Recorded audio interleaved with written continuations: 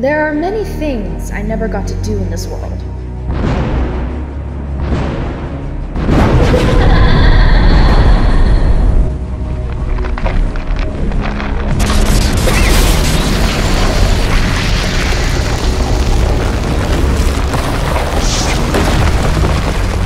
My name is Six, and I'm about to either change the world